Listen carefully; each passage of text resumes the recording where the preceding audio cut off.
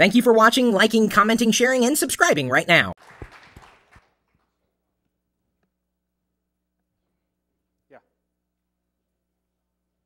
Sorry? Thank you. Thank you. A few years ago, my grandmother died. Yeah, that's okay. It's not really a downer presentation, it's just the start. And uh, recently, I was going through her stuff, as one does when someone dies, and I found this telegram from 1954. Here's what it looks like.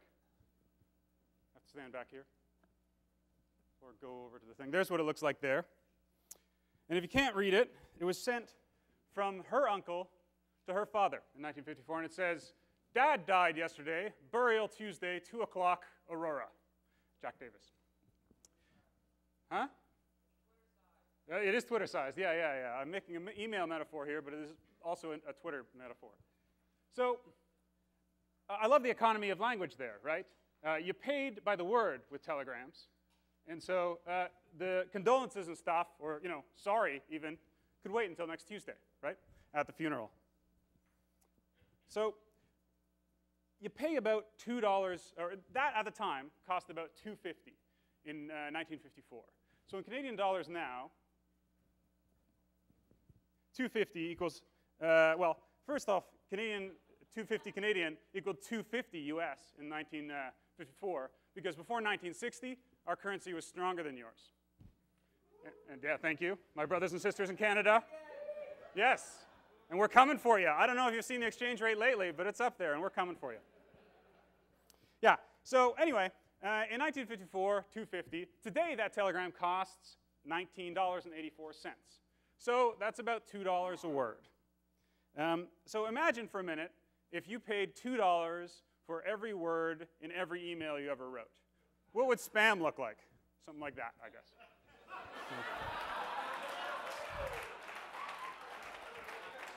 yeah, I don't know.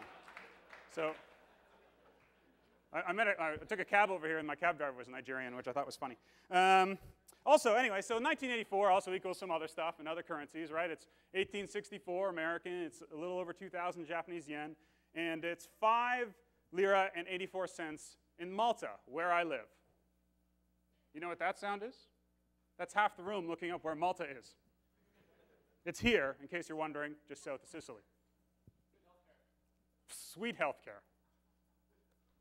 So, interestingly enough, uh, Canadian 1984 Canadian also works out to about 5,000 Linden dollars and about 250 World of Warcraft gold. That'll buy you some really nice level 70 crimson elbow pads of death or something, right? Like whatever those are. Um, but that's a black market rate because you can't really convert that currency, so don't rely upon it. So my great great grandfather dies. Um, my great great uncle sends a, a telegram to my great grandfather informing him my grandmother keeps the telegram, she dies, and I get it. It's enough to make you think about your own mortality, isn't it? So that's what I've been doing lately. I've been thinking about my own mortality, about life and death, and, and how I might be remembered. Like, for example, if I died on stage right now, if I just flopped over of some you know, awful disease or a heart attack, what would my legacy be? It might be that. yes, sweet. Yeah, that's, that's disappointing. Um, so, so I've been thinking about how to uh, revise my legacy, uh, thinking eh, about big things, about, about kind of how to do good, right?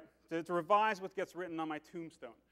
And uh, I, I, do do some good already, like um, I have done little projects online, which have raised some money here and there. And my wife and I do donate to charities that we support uh, periodically on an ongoing basis. But I haven't done it very systematically, and uh, I'm, I'm certain that I haven't done enough. In Vancouver, where I used to live before I moved to Malta, um, there's a hot dog stand at the corner of Granville and Georgia. This is it here. Uh, if you are in Vancouver, try the turkey smoky. It kicks ass. Get the fried onions. Um, beside this hot dog stand, there's a young woman who often is sitting there. And she's uh, had a hard time, clearly, and she's probably homeless. And um, sometimes I buy her a hot dog. N not because I'm smart or, or you know, thought of that I, great idea. I saw somebody else do it, and it seemed like a good thing to do, and it only cost 250. And her name, by the way, is Stacy, right? And so every once in a while, I, uh, I say to the guy, here's an extra 250, buy Stacy a hot dog when she wants one. Um, so thinking about charity and doing good, this seemed to me to be the sort of minimum act of charity, a kind of one meal for one person, right? A couple bucks. So, if I want to do good and I want to think about doing more good, particularly in terms of technology and the web, I need to be systematic about it, right? I need to work out uh, a way to kind of measure and quantify my good deeds if I'm going to make some, or make something that does good deeds. So, by the way, uh, if you're an economist or a sociologist or any kind of social scientist in the room, you need to leave now. Because the science and the math after this point is totally half-assed. And if you hang around, you're just going to look like this. so, or you're going to come beat me up afterwards, and I'll bet I can take you because you're an economist, but I don't want that. so we need a basic currency. I need a currency to evaluate good, how to do good. Um, and so I thought, well, one meal for one person, that's a great currency. That's what it's going to be. And I'm going to call it the Stacy in, in, in, honor of uh, the young woman sitting beside the hot dog stand. One meal for one person earns me a Stacy. So if you keep a person alive for a year, that's about 1,100 Stacys. So, of course, there are a lot of ways to do good, probably six billion of them. But I want to focus, because we're at a tech conference and I'm kind of a geek, on IT and technology projects that, and uh, sort of that category of stuff. A couple disclaimers. First off, obviously, um, you know, you could invent something really big, that the infrastructure of the web that changes the world, right? And uh, does immeasurable good for lots of people, like the Googles and the Flickrs and the, and the whatever, you pick your company. Uh, not MySpace, of course, but the other ones do immeasurable good and uh, some bad, but mostly good. And uh, so you could, I could do that, but I'm not smart enough, and I'm not lucky enough, and I don't know enough, and I don't know enough people. So we're not even going to talk about those because it's also, they're also very, very hard to measure. Um, there's also a kind of reductio ad nauseum about that logic because you know if I'd invented the wheel, that would have helped a lot of people, but we're a little past that. So, additionally, I am not a hippie. I have never been to Burning Man. I do not nor own nor have never touched a bongo drum and I only own one pair of sandals, and they're very sporty. so I just want you to know that I'm not some guy who's come from like, you know, if I say Hornby Island, the BC people will know this, but some small, you know, commune in BC to, you know, lecture you about doing good. I'm a geek, uh, and uh, not a very good one, but a geek nonetheless. Um, so, in thinking about these things, I'm hoping to get a better sense of myself, how I can do my time, and maybe help some of the people in this room think about it and do more. So from here on in, I'm going to kind of profile a series of interesting technology projects on what I perceive as to be a sliding, well, more or less a sliding scale of good. This is Nabuur. If you are too lazy or too busy or not smart enough to leave your living room, this is the sort of simplest way you can help. Uh, they're a really interesting um, collaboration project, and their um, spiel is that they connect so-called uh, high-performing volunteers professionals of various kinds in the developed world with projects that need their help in the developing world, right? Um, so a group of people want to start a beekeeping project in Sierra Leone, but they need a marketing plan. So they get a marketer in North America to write their marketing plan for them, to do a small task from your own living room, okay? It's an interesting and powerful idea, I think. It's a kind of crowdsourcing to people who you don't, uh, people who you don't have access to in your local community if you're in Southeast Asia or Africa or, or uh, you know, wherever the developing world you may be. So Nabuur has about um, 200 projects ongoing with about 8,000 high-capacity volunteers, right? Um, they might be also like coordinating the shipping of computers from Canada to a school in Honduras or something, which needs them.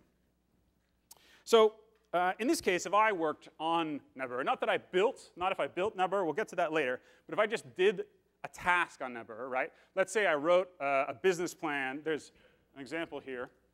Um, some uh, Maasai um, folks in Kenya, or is it Kenya? I never know, um, want to start an ecotourism business, right? And they're 30 families, and so that's about 130 people.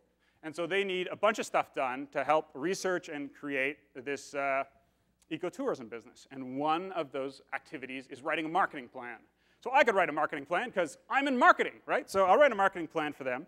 And I would be helping these 130 people. Now, there are also 22 other volunteers doing various tasks on this project. And of course, the Kenyans uh, are doing most of the work because we're just helping them with the high-level stuff, and they're, they're doing you know, the majority of the work. So maybe we're, the volunteers in the developed world are doing 20% of the work.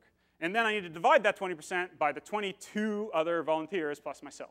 So when I kind of work all that out, and I do some math, uh, I figure that uh, participating in the bird to write a marketing plan earns me about 1,200 Stacy's, right? Or enough to keep one person alive for about a year. So we're going to come back to this chart a lot, so get familiar with it. So a step up from there, how many people, oh, sorry, I wanted to mention, if you uh, don't want to leave your living room, but you want to work closer to home, this is an interesting project that uh, enables professionals to mentor kids uh, who are leaving high school into the workforce or into college. It's called icouldbe.org.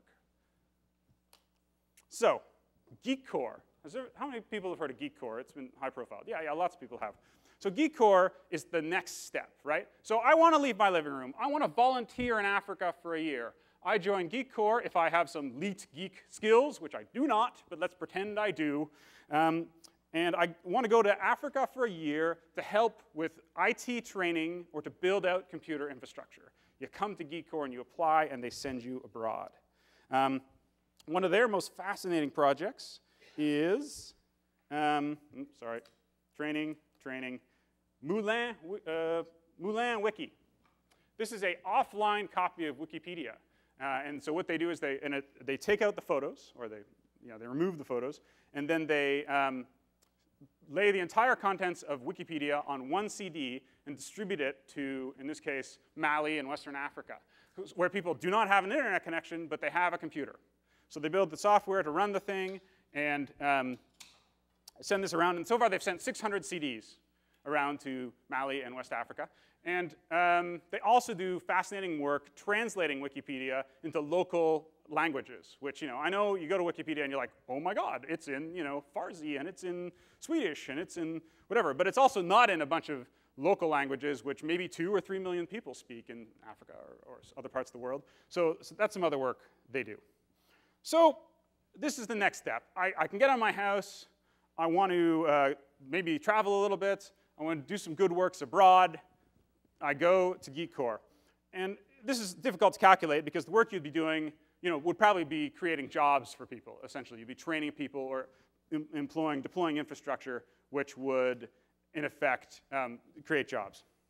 But then, of course, they're doing most of the work because they're working, you're just helping create the opportunity.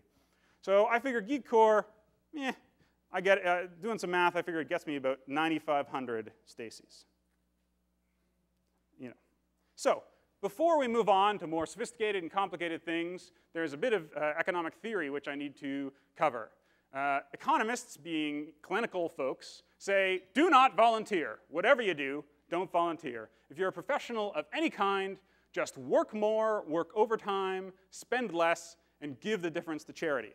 And they have really, you know, uh, really sound point there. What if I worked in a soup kitchen? Okay, if I just volunteered two hours of my time in a soup kitchen, I could probably make soup for 50 people. Okay, but instead, if I just did an extra two hours of consulting or whatever, and I earned a couple hundred bucks, well, and I gave that to the soup kitchen, the soup kitchen can hire, you know, five cooks for two hours, and they make much better soup and, and feed a lot more people.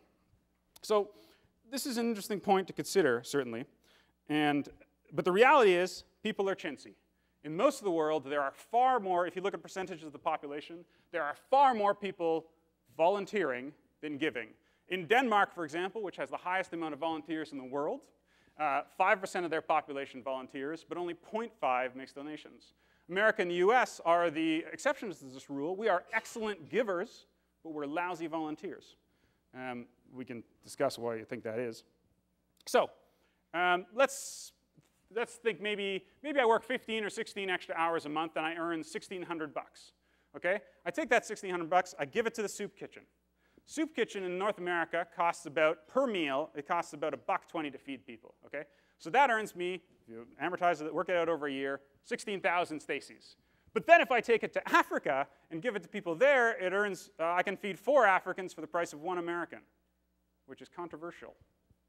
Not as apparently as controversial as the last talk, but nonetheless, um, that's an interesting problem to think about too. So there you go, 16,000 for the US, 66,000 in Africa. This is a very bad joke about John Denver. That's a country road.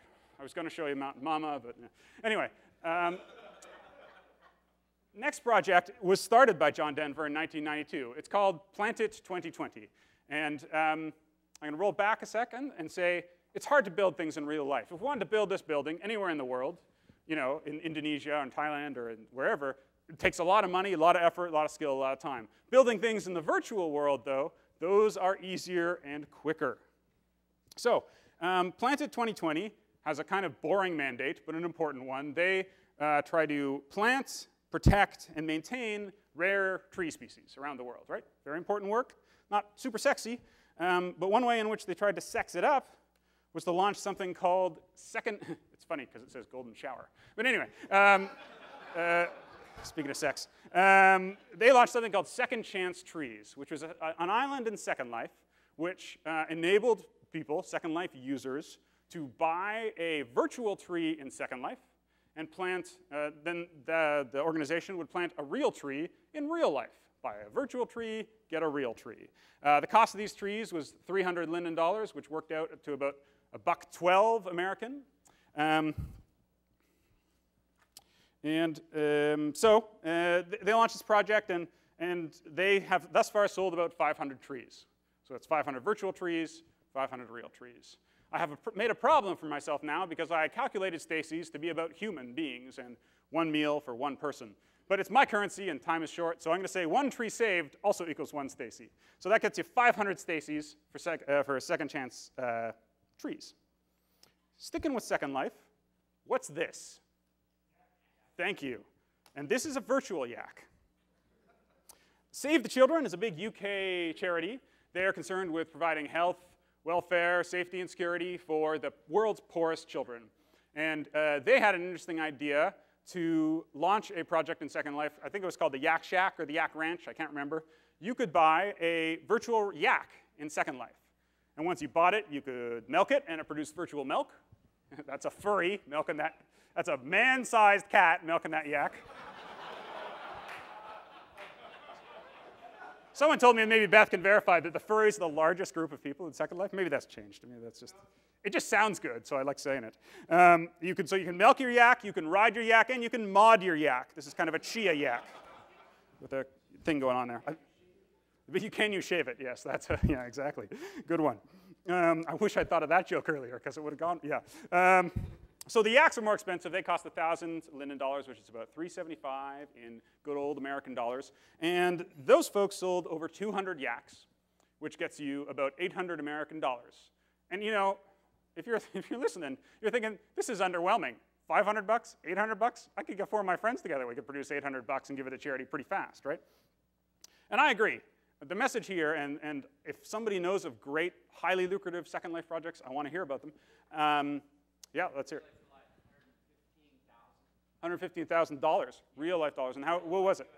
Maybe you want to get a microphone and tell us about it. Can, yeah, can we have the microphone down here for a second? Or do you want to tell us about it? Yeah, all right, sure.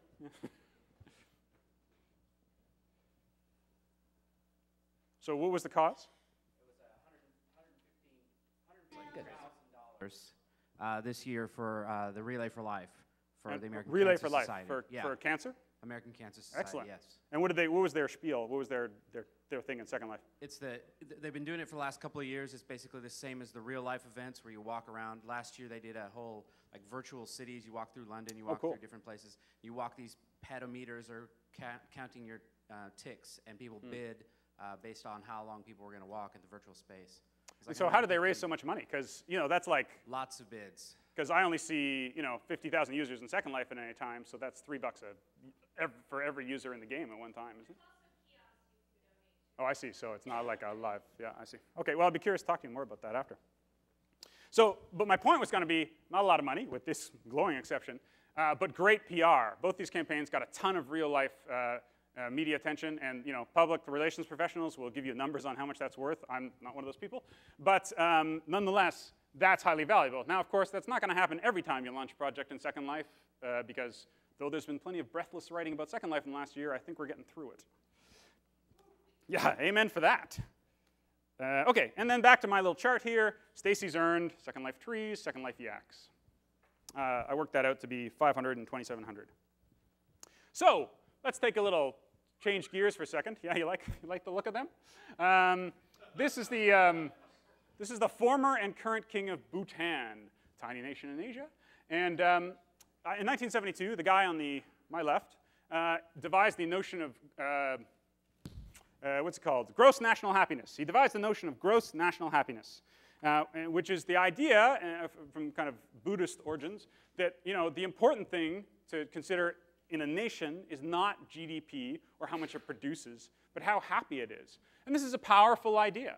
Uh, so can we do good by making people happy?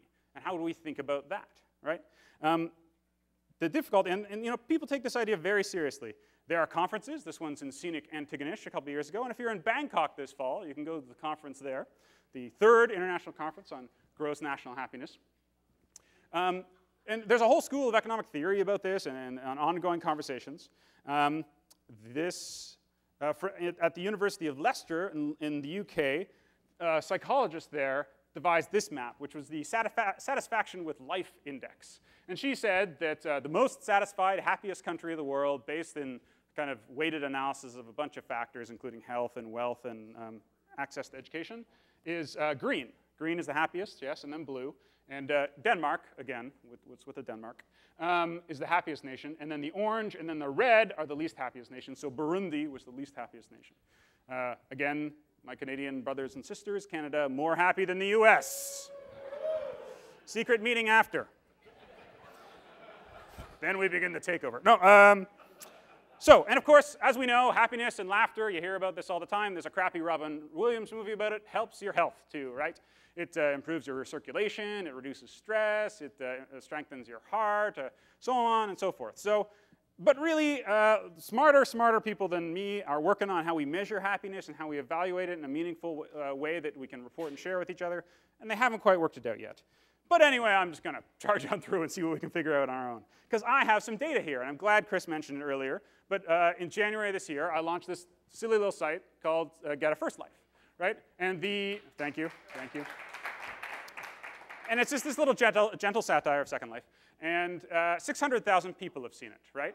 Okay. So then I thought about, okay, 600,000 people saw it. They kind of liked it. How much did they like it? I asked around, and I thought, uh, and it seemed like they laughed an average of 15 seconds, right? This site is worth 15 seconds of laughter. 15 seconds times 600,000 people gets you 250, no, sorry, 2,500 hours of laughter. Great. As a kind of second data point from my personal experience, I wrote, I write plays occasionally. I wrote a play, it was in the Fringe. There's a naked guy there, except there's a basketball. Uh, it was called Bullocks, right? It was in uh, a couple Fringe uh, festivals around Canada, and uh, 600 people came and saw it. Woo, 600, wow, yeah, this is theater after all. Um, but it's an hour-long play, and people liked it, reviews are good, and I figure people laughed for like 15 minutes of the 60 minutes, certainly. They enjoyed it that much, and why not? Because it's got talking testicles, right? I don't know. You know, a number of Shakespeare plays had them, but they cut them. Um, anyway, uh, Prithee Yorick, why? That was, anyway, so, um, but you work that out, and it's only 90 hours of laughter, right, all in. So either I need to get another 10,000 to match, get a first life, I need to get another 10,000 people to my plays or make them a lot funnier still. Um, but how much is that worth? How much is that worth? Who knows? I don't know, certainly. Uh, but I'm giving myself 500 Stacys for that project. So mm, that doesn't really rank, considering I could earn 66,000 Stacys just for donating some money. Um, but nonetheless, happiness, something to think about and certainly beyond the scope of uh, my time. So now we get into the big projects, a couple really big um, influential projects that have incredible scope and incredible influence. But they're, they're IT projects, and in theory, if I were smarter or luckier or had more help, these are things I might have made. And, and here's where I would have done a lot of good. So uh, Rick Reilly is a award-winning Sports Illustrated, he's a sports writer, he writes for Sports Illustrated, and last year he wrote a column called Nothing But Nets. And he had recently learned about uh, malaria and how it ravages um, you know, uh, certain parts of the world, most notably sub-Saharan Africa. Um, if that's for me, you take a message. Uh, and the, um, he, he had recently learned about it. He learned that, for example, a child dies of malaria every 30 seconds in Africa, right? It's the leading cause of death in Su the Sudan for children under five. So he decided he needed to do something. So for the first time in 21 years of columns, he asked his readers something. He asked them if they would each send $10 to the UN Foundation, not part of the UN, but an associated agency, um, to buy, 10 bucks buys you, buys a net, the shipping, the instruction, the actual device for, Chris, can you come up here? Chris, are you in the room? He left. I need a volunteer. Leela Fever, thank you, come on up. I'm gonna embarrass you a little. Um, so, um, so for 10 bucks, you get, you get a mosquito net. And you send it to Africa. I'm just gonna put this on you. I thought it'd make a nice photo.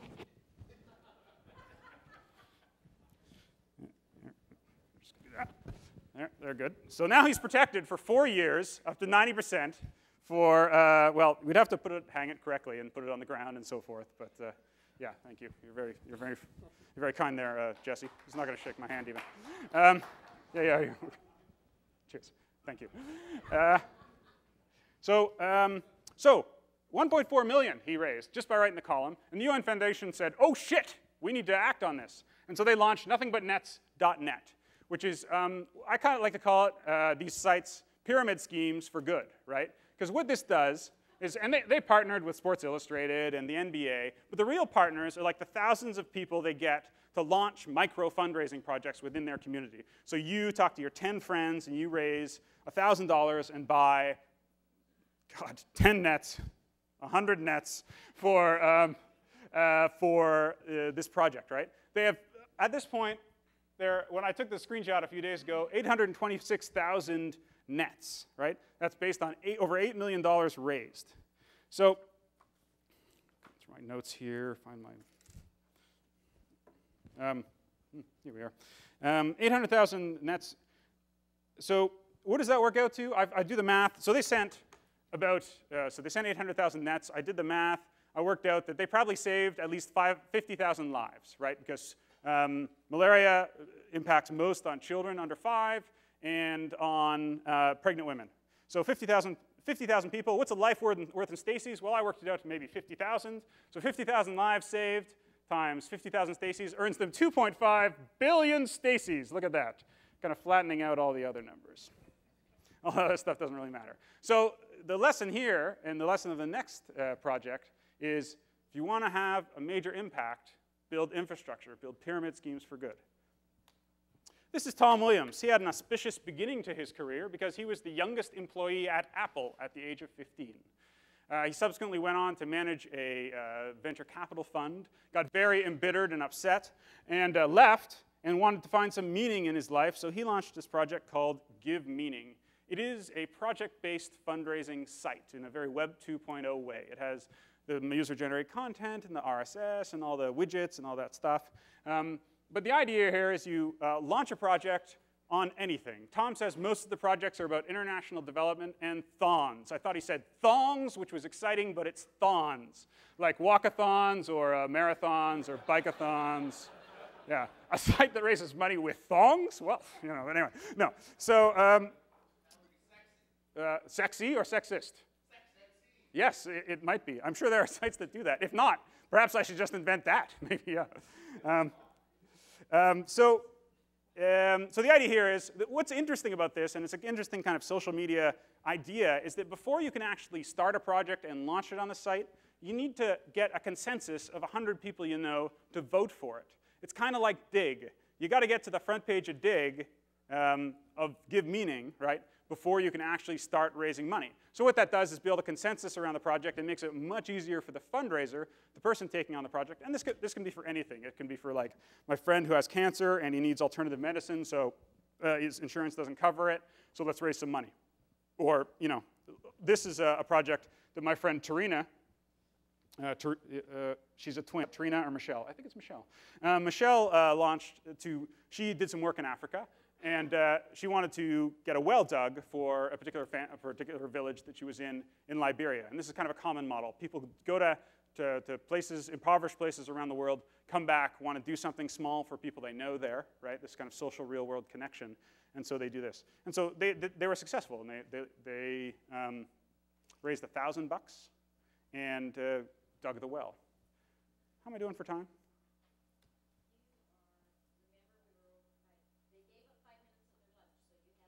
Oh, Jesus. No pressure. Okay, I'm not even going to take that. But um, if you want to talk to me later, in the States, do you have UNICEF boxes at Halloween? Do you know? Not anymore, or do you still have them? Yeah, so in Canada, I grew up with these. These were like fundamentally part of our childhood experience in, on Halloween. And uh, they, recently, uh, they recently canceled them for what sounded to me to be highly dubious reasons. Um, I'm gonna, not going to talk about it now because it'd take a little too much time, but if you're interested, talk to me afterwards because uh, what Give Meaning has done is built the UNICEF Box 2.0, and it, it, kicks ass on the first one, and it's just a really smart way of engaging with communities um, in a meaningful way. So, at the end of my notes. So there you are. The conclusion, obviously, is build infrastructure.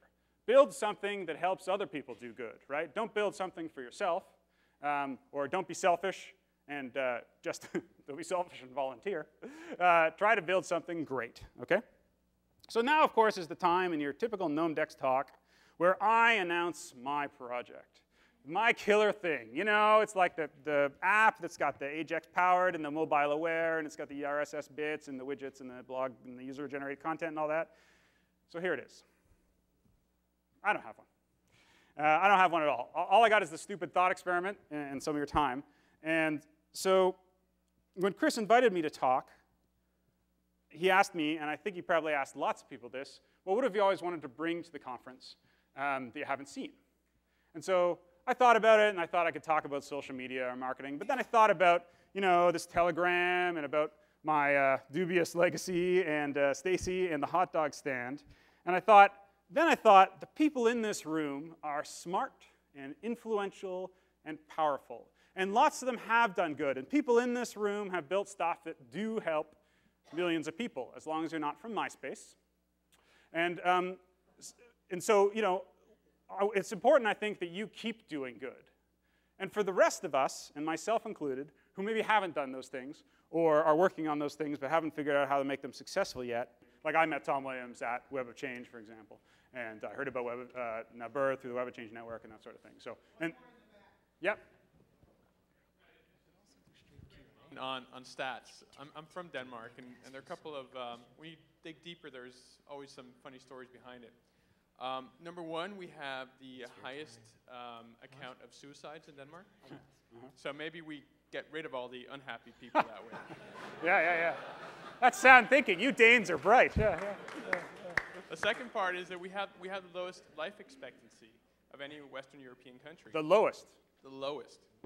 All right, Um, so there's no old, miserable people either. No, exactly. So that could well, that could be another part. But it's also, but but sorry, if you look if you look beyond those stats, I think that, um, for example, the water wheel that you showed, uh, there was another w- water purifying straw. There, there's a bunch of. It, it- it seems as if a lot of, in, in Denmark and in Scandinavia, we've often been well known for our designs, and there was a, something called Index Awards, where, um, where all of these, actually several of the things that you showed have, have all been featured. I think that, that taking the, it's, it's, the next, it's the next natural step in, in designing. It's not just for the eye, but it's also designing for the, for the human. I think there's a lot to be learned just from, from that. Yeah, I totally agree. And I think the, the, the, the photos, like the, the real world technology, is so powerful when you look at them and you think, oh, they're using kid power to pump water. Like, genius, right? No, we gotta go. We gotta go? Yeah, Sorry, we gotta. Chris, You can negotiate. can't do it. Can't do it. Can't do it. Do, do, You can do ask Guy. he Do you need a mosquito net for your talk? Or are you okay? Okay. Real, you want to ask real quick while he's walking off stage? Yeah, uh, group-to-group collaboration. A lot of great projects. How many of these people are actually doing things together, or did you run across more of that? Because that's what we like to see. I think it's, it's often driven by personalities, much like I, IT projects I find. Like, um, like people, there's one guy who has a dream and builds it and, and draws people to him, or one woman who builds it and she draws people to her uh, out of her kind of particular combination, charisma, so forth. Thank you, Darren. Thank you very much.